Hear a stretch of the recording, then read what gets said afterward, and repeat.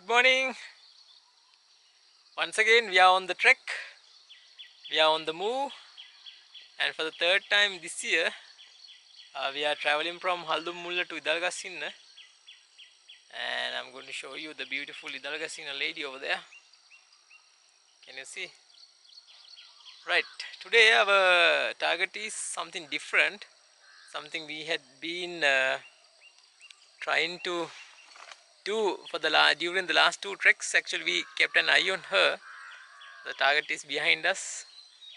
I think she's now slowly coming to view. Let's see that lady. She's the one we are going to conquer today, and that's known as Beragala Peak.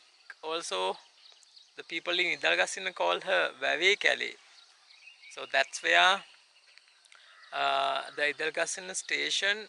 This is between Idalgashinna station and Haputale station. Uh, there is also Tangamale Forest Reserve uh, underneath that. So there's a very interesting place. So we are going to try and climb that. That lady, where is she now? There she is. Finally. Right. Uh, so we are just going to the Dalgasina now. Get some breakfast and start our trek. Try and finish it as soon as possible.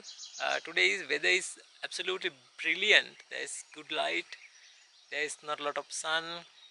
Uh, hardly any breeze. Remember last time we went to Udaweriya to Bambarakanda, it was like a hurricane. We walked through a typhoon.